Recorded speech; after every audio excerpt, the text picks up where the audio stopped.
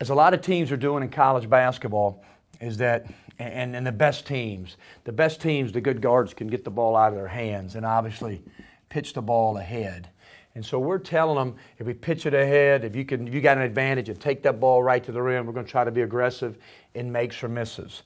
If the one man does pass and all of a sudden the five goes right to a drag screen, we can be what we call our three side action. One can really sprint away here. Say the three man beats him here, and the four trails right to what we call the high spot. It's a great opportunity for slips for the five, great opportunities for refusal of the ball screen for the two.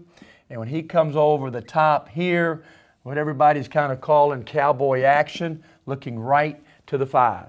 We're really trying to have our forward trail in a really in a really aggressive position to where he's stepping right into the ball from the two. He's always thinking about taking one hard dribble right at the rim and just drive it from the high spot. Okay?